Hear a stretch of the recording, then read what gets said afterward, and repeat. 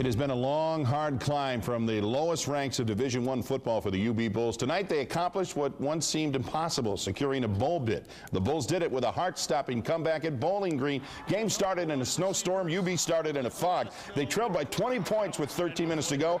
Two and a half minutes left. Drew Willy hits Brett Hamlin for the touchdown. UB trails it by seven. Final minute, seconds winding down. Willy to Naaman Roosevelt for the touchdown. The extra point ties it up at 27, so they go to overtime. And in the second OT, the Bulls win it. Center hands the ball to James. Hole on the left side. Oh. James at the 15, at the 10. Gone. Touchdown. Touchdown. the Bulls win. Unbelievable. The team storms out on the field to surround James Starks. Division championship. Bowl game. Win. Celebrate. That's News 4's Paul Peck calling the game on the Bulls Radio Network. 40-34 the final in two overtimes. Bulls win it.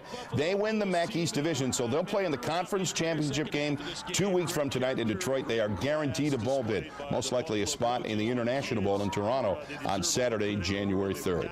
The Bills head for Kansas City tomorrow. Donte Whitner, one of three defensive starters out of the lineup. Quarterback Jabari Greer is also going to miss the game with his injured knee, and defensive end